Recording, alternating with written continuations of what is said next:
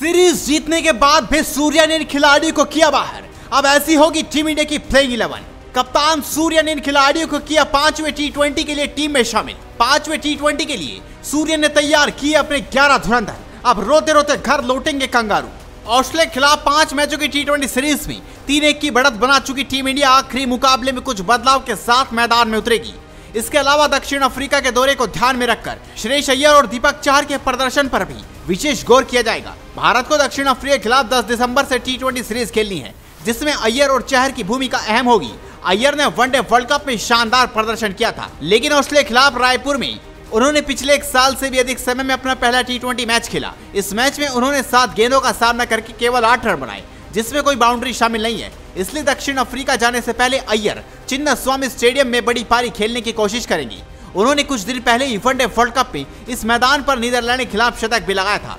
अय्यर की तरह चाहर ने भी चोटिल होने के बाद, लंबे समय तक बाहर रहने के बाद वापसी की है। रायपुर में खेला गया मैच उनका टी ट्वेंटी प्रारूप में भारत की तरफ़ से पिछले साल अक्टूबर के बाद पहला मैच था। इस 31 साल के तेज गेंदबाज ने टीम डेविड और मैथ्यू शॉट के विकेट लेकर प्रभाव डाला, लेकिन उन्होंने अपने चार ओवर के कोटे में चौवालीस रन दिए। चिन्ना स्वामी स्टेडियम की पिच उनके अनुकूल नहीं हो सकती, लेकिन अपनी विविधतापूर्ण गेंदबाजी के कारण चाहर सफलता हासिल कर सकते हैं।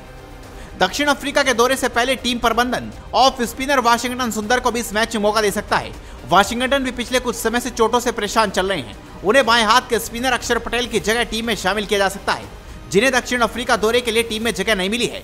भारत की तरफ़ से बल्लेबाजी में कप्तान सूर्य कुमार यादव, ऋतुराज गायकवाड़, रिंकू सिंह, यशस्वी जायसवाल और ईशान किशन ने अच्छा प्रदर्शन किया है। पिछले मैच में किशन की जगह खेलने वाले जितेश शर्मा ने भी अपनी बल्लेबाजी से छाप छोड़ी है। गेंदबाजी में रवि बिश्नोई ने अभी तक सात विकेट लेकर अच्छा प्रदर्शन किया है। दूसरी तरफ़ ऑस्ट्रेलिया की टीम ने भी अभी तक अपेक्षित प्रदर्शन नहीं किया। उसकी टीम जीत के साथ श्रृंखला का अंत करके स्वदेश लौटना चाहेगी। भारत ने छोटे टी मैच में ऑस्ट्रेलिया को 20 रन से पराजित किया। अब सभी की नज़रें पांचवी टी ट्वेंटी पर टिक गई हैं। लोग जानना चाहते हैं कि बेंगलुरु में किस तरह की पिच होगी। क्या यहाँ बड़ा स्कोर देखने को मिलेगा? मौजूदा सीरीज़ के शुरुआती तीन मैचों में जिस तरह से दोनों टीमों ने बड़ा स्कोर बनाया था, उसके मुकाबले रायपुर में छोटा स्कोर दिखा। बैंगलोर में गेंदबाज बर्फाई की कहर या बल्लेबाजों के बल्ले से निकलेंगे खूब रन। आइए जानते हैं। बैंगलोर के एम चिन्ना स्वामी स्टेडियम ने अभी तक आठ इंटरनेशनल मैचों की मेजबानी की है। इसके अलावा इस स्टेडियम में आईपीएल के मैच लगातार आयोजित होते रहे हैं। यहाँ एक फ्लैट विकेट बल्लेबाजों के मुफीद रहा है। यहाँ छोटी बाउंड्री है। हालाँकि हाल में जो मैच यहाँ खेले गए हैं, उसमें हाई स्कोर और लो स्कोर मुकाबले देखने को मिले हैं।